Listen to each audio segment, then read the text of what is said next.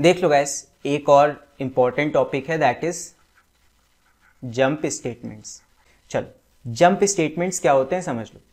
There are two jump statements in Java one is break statement and other is continue statement तो there are two jump statements in Java एक होता है break and एक होता है continue ठीक है?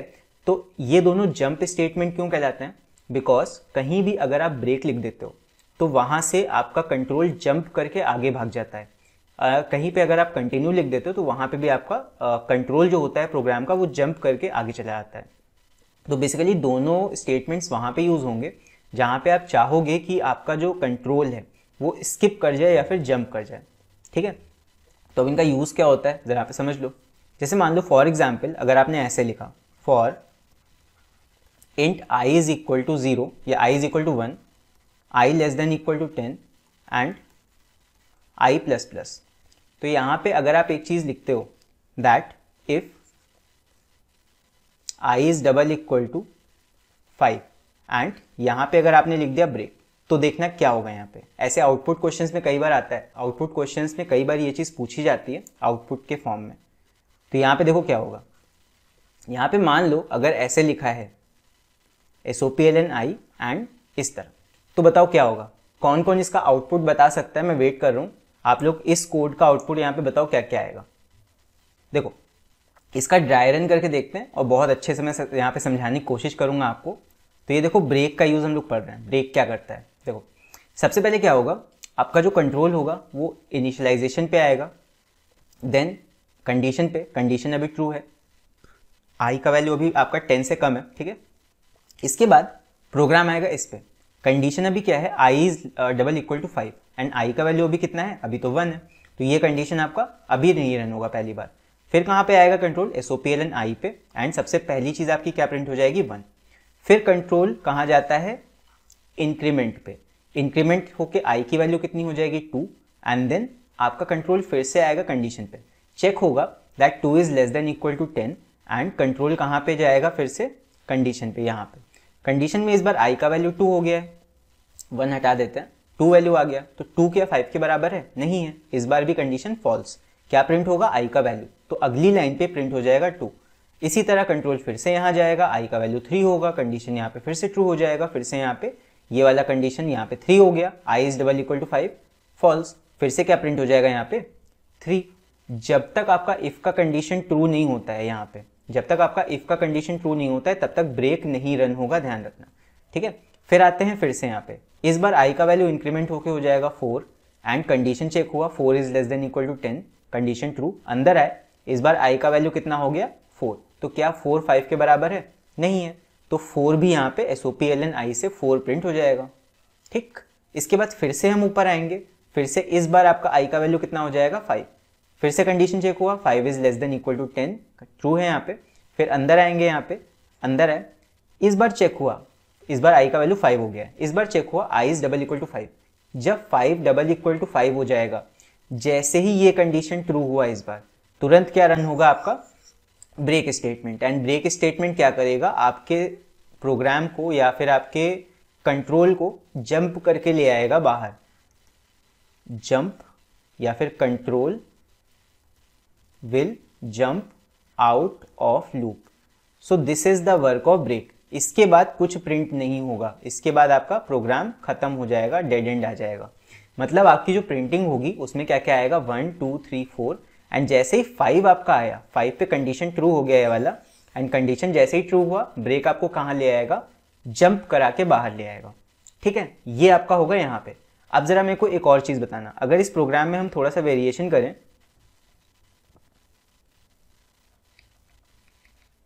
अब मेरे को बताना कि कौन आउटपुट इसका बता सकता है। मतलब जिसको भी आता है, इसका आउटपुट अब बताना।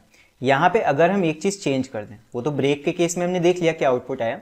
अगर यहाँ पे ब्रेक की जगह पे कंटिन्यू लिखा होता, अगर यहाँ पे ब्रेक की जगह पे कंटिन्यू लिखा होता, तब बताओ क्या होता। चलो, अभी इसको एक्सप्लेन करता हूँ। काफ़ी लोगों ने सही आंसर दिया है। एक और सही आंसर आया था, ये, जय पबजी। आपका नाम मुझे नहीं पता बट आपका नाम बड़ा अच्छा है, जय पबजी। चलो गैस अभी इसको एक्सप्लेन कर देता हूँ कैसे होगा, देखो। यहाँ पे क्या होगा, सबसे पहले कंट्रोल आपका जाएगा इनिशियलाइजेशन पे आई का वैल्यू वन फिर कंडीशन पे आए I is less than equal to ten condition अभी सही है one is less than equal to ten कहाँ आएँगे? I is double equal to five condition पे। आई का वैल्यू अभी वन है तो वन तो फाइव के बराबर है नहीं तो ये कंडीशन अभी नहीं रन होगा। तो क्या प्रिंट हो जाएगा? वन यहाँ पे आके वन प्रिंट हो गया।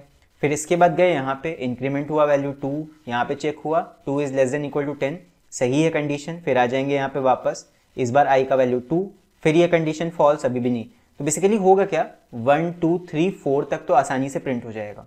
फिर फोर के बाद जब ये वैल्यू फाइव होगा, फिर फोर के बाद जब यहाँ पे आई का वैल्यू फाइव इंक्रीमेंट होगा, तब जब हम अंदर आएँगे तो होगा क्या? यहाँ पे आई का वैल्यू फाइव है। जैसे ही फाइव हुआ आई का वैल्यू तो यहाँ पे कंडीशन ट्रू कंटिन्यू स्टेटमेंट इस बार रन हो गया। इस बार स्किप नहीं हुआ, इस बार रन हो गया। तो जब कंटिन्यू स्टेटमेंट रन होता है तो कंटिन्यू का एक चीज़ याद रखो that continue continue only jumps from the current iteration मतलब यहाँ पे क्या है कि जो कंटिन्यू स्टेटमेंट होता है कंटिन्यू स्टेटमेंट सिर्फ़ आपका करंट इटरेशन से आपको बाहर लेके आता है। दैट मीन्स कि कंटिन्यू क्या करेगा? जैसे ब्रेक क्या कर रहा था? आपको परमानेंटली लूप से बाहर ले आ रहा था। ठीक है? लेकिन कंटिन्यू ऐसा नहीं करता है। कंटिन्यू के केस में क्या होगा? आपका ये वाला इटरेशन मतलब यहाँ से तो बाहर आ गया। लेकिन वापस से कहा चले गए? इस जगह पे। तो jumps only from the current iteration इस समय जो इटरेशन चल रहा होगा आपका लूप का, वहाँ से बस आप बाहर आ जाओगे एंड बाकी आपका सारा लूप फिर से कंटिन्यू हो जाएगा। तो कंटिन्यू देखो नाम से ही है। कंटिन्यू का मतलब बस ये है कि आपका वो वाला इटरेशन नहीं रन होगा, बाकी आपका पूरा प्रोग्राम फिर से मतलब लूप आपका फिर से आगे से रन होने लगेगा। तो होगा क्या आउटपुट में? देखो आउटपुट में फोर के बाद फाइव के केस में तो कंटिन्यू हो गया जंप हो गया तो यहाँ फाइव वैल्यू नहीं प्रिंट होगा। इसके बाद अगला वैल्यू छः हो जाएगा आई का छः के लिए कंडीशन ट्रू ये वाला फिर से फॉल्स तो आपका छः सात आठ नौ दस पूरा पूरा यहाँ पे प्रिंट हो जाएगा। तो कहीं ना कहीं बस स्किप क्या हो गया? जो आपका कंटिन्यू वाला पार्ट था वो। सो so, कंटिन्यू क्या करता है? लूप से आगे के स्टेटमेंट्स को नहीं रन करता है। बस सिर्फ़ उस पर्टिकुलर एक इटरेशन के लिए। Continue statement only jumps for the one iteration of the loop but break statement क्या करता है? Break statement completely stops the loop break statement क्या करता है? ब्रेक स्टेटमेंट लूप को एकदम ही खत्म कर देता है या उसमें से एकदम बाहर निकल आता है। ठीक है? तो ये होता है ब्रेक एंड कंटिन्यू में डिफरेंस या फिर इनका यूज़ क्या होता है? ये बेसिकली आउटपुट क्वेश्चंस में बहुत बार आता है तो इसको ध्यान से पढ़ लेना। ठीक है?